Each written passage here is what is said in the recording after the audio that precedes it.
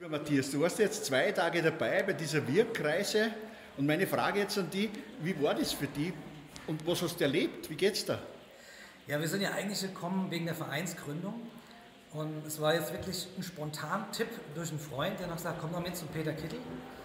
Und dem sind wir auch gefolgt und ich muss also wirklich sagen, über die, über die Vereinsgründung hinaus habe ich eigentlich wirklich, also ich bin wirklich berührt und auch begeistert, was du alles eigentlich hier ins Leben gerufen hast. Also das geht ja nicht nur über Vereinsgründung, es geht ja viel weiter, also dass man wirklich so auch in so einen Selbstfindungsprozess kommt, wo man einfach äh, wirklich nachspürt, was will ich eigentlich wirklich oder wo geht's hin?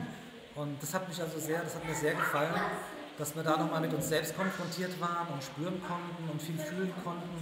Und also ich nehme jetzt wirklich eine ganze Latte neue Ideen mit, wo ich einfach sagen muss, äh, das passt genau für das Vereinsprojekt, wo wir uns vorgestellt haben. Wunderbar.